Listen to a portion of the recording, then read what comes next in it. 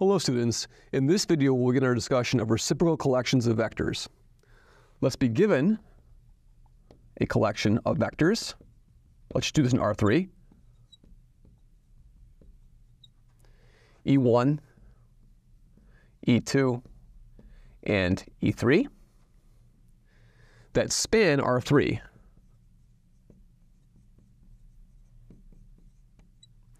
i.e., the determinant of E1, E2, E3, which I'm going to abbreviate as just E1, E2, E3 like this, just for, for, a nota for shorthand notation, is not zero. Okay, so in other words, this collection is a uh, basis, right? Hence, E1, E2, E3 is a basis of R3. Okay. I'm going to consider a reciprocal set of vectors, so define E1 upper to be E2 cross E3 lower over this determinant, E1, E2, E3. Okay. E2 upper, E2 upper is going to be what? Is going to be E3 cross E1 over this determinant, E1, E2, E3 lowers. And then finally E3 upper, E3 upper is going to be what? E3 upper is going to be E1 cross E2, lower, lower, over E1, E2, E3, like that, okay? And this collection of vectors E1, E2, and E3, so E1, E2, and E3, E1 upper, E2 upper, E3 upper, is called the reciprocal basis.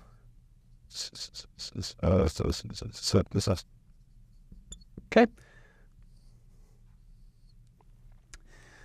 All right, and so now, of course, the idea is that we want to do is, the reason it's called the reciprocal basis, we'll prove this in, in further videos when we start to understanding properties of these things, but it's easy to check that if I look at E1, the determinant of E1, E2, and E3, we can check, therefore, that if I multiply this by the determinant of E1 upper, E2 upper,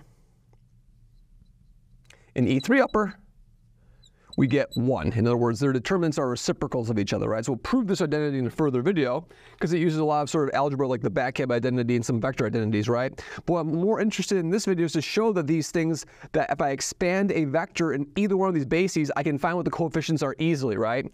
And so let's consider this. Here's a proposition for us.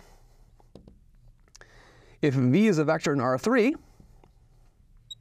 then this implies what? This implies that V is going to be the inner product, the dot product of V with E1 upper, E1 lower, plus the inner product of V with E2 upper, E2 lower, plus the inner product of V with E3 upper, E3 lower, like that, okay? And so this hints at our Einstein notation, right? So in Einstein notation, what we'd say is the following. So if we used Einstein notation, this would just be V dot EI upper and then EI lower in Einstein notation. This is Einstein summation.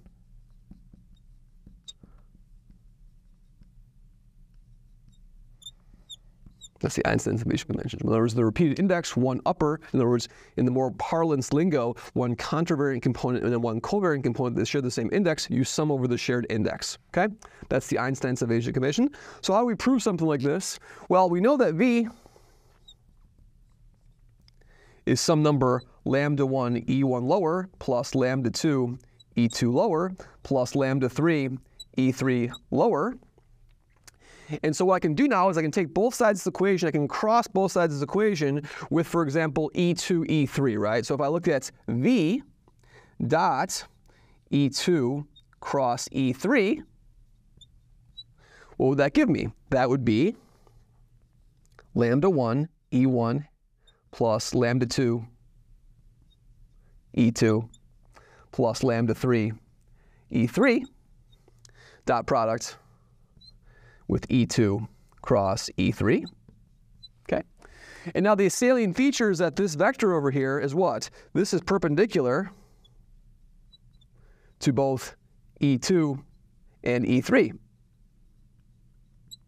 Okay? And so therefore, V dot E2 cross E3 is going to be what? Well, it's going to be lambda 1 E1 dot E2 cross E3. And then E2 dot this thing is going to be 0, and E3 dot this thing is going to be 0, right? Now, what do we know about E1 dot E2 cross E3? That's the triple scalar product of E1, E2, and E3. So this is exactly equal to lambda 1 times E1, E2, and then E3, right? And therefore, we just found what lambda 1 is, right? We found that lambda 1 is exactly E2 cross E3 over the determinant of E1, E2, E3. And what is this expression over here? This expression over here is, of course, dot with what? Um, dot with V, right? Dot with V. And the dot product is symmetric, so we can put over here, right? Good.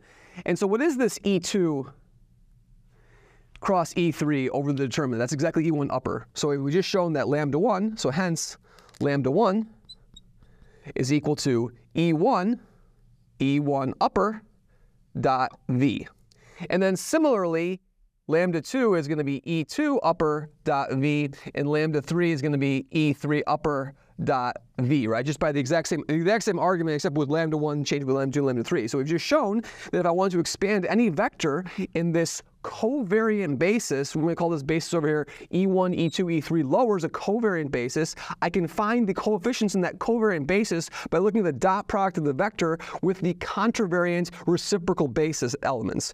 And we can see by symmetry too that if I replace the uppers with lowers, that I have the same exact formula for the covariant vectors in terms of the contravariant vectors in terms of their reciprocal bases. So in other words, these bases are called self-reciprocal to each other. If you sort of do the if you do, the, if you do this procedure over and over again, there's a symmetry embedded in this in this in this process over here. So the most important thing to, to capture is this first approximation, this first idea of how the summation convention works, is that if you want to sum over a given quantity, there has to be one contravariant component and one covariant component that share a common index. Once that index is shared between a covariant and a contravariant component, the Einstein summation convention allows us to simplify dramatically computations which involve vectors and reciprocal bases. Thank you very much.